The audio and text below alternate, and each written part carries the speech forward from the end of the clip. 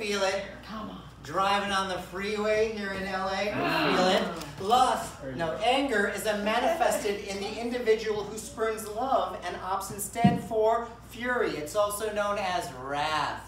Wow. wow! Sister mentioned it earlier. Everyone's angry. Everyone. Everyone's angry. And so we play bingo.